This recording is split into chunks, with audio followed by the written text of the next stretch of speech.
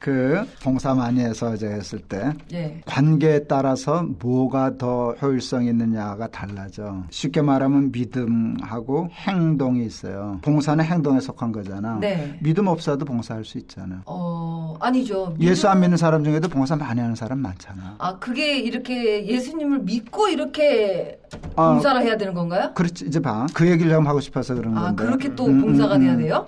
이제 A하고 B의 관계가 장사하는 상인 관계예요. 예. 이 A가 B한테 실수해서 한 천만 원 손해를 끼쳤어. 그렇게 하면 이 관계가 회복되려면 말로만 미안하다 그러면 회복 안 돼. 그죠. 마음으로 뉘우쳐도 회복 안 돼. 뭘 줘야 돼? 돈을 돈을 줘야 돼요. 예, 그렇죠. 그러니까 이 상거래하는 관계에서는 말도 중요하고 마음도 중요하지. 그런데 돈 안 주면 아무것도 아니야. 음. 이게 맨입으로 다 때우려 그래 이 관계라고. 그런데 A하고 B가 아버지와 아들의 관계야. 근데 음. 이 아들놈이 아버지한테 잘못해서 천만 원 손해 끼쳤어. 네. 근데 이 자식이 천만 원만 갚으면 되는 줄 알고 아버지한테 어, 천만 원 여기 있어요. 어, 이자까지 여기 있어요. 이제 다 됐죠. 만일 이런 식으로 나가면 아버지 상처 더 받아.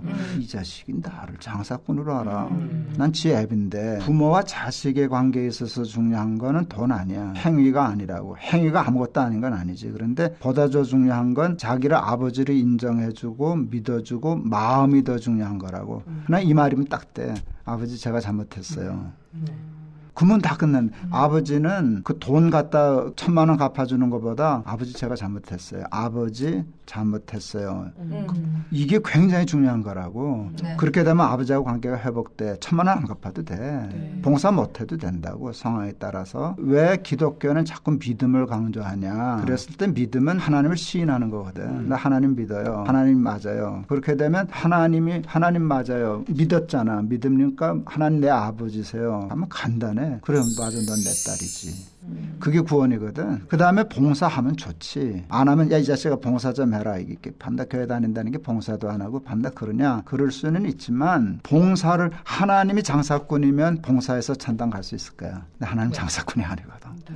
아, 그래서 이런 일들이 버드레 씨가 이게 하루 이틀 얘기해서 다 할 수 있는 건 아니에요. 이게 근데 버드레 씨가 보통 이제 아주 정확한 질문들을 하는 거야. 툭툭 내뱉는 것 같아도 근데 거기에 대해서 그 얘기 를 하니까 나는 설명을 할 수 있는 거야.